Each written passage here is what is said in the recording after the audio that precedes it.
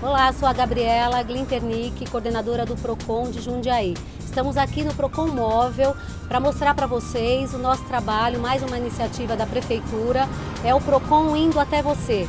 Nós estaremos uh, pelas regiões de Jundiaí, fazendo orientação, fazendo atendimento, ajudando você, consumidor, a resolver os seus problemas. O Procon Móvel vai estar nos terminais de ônibus, nas praças e nos eventos. Acompanhe toda a programação pelo site da Prefeitura. Na página principal você vai ver um ícone com o Procon Móvel. Ali você vai encontrar o endereço e os horários de atendimento. Não deixe de consultar para que você possa então facilitar o atendimento sem ter que ir até a sede do Procon.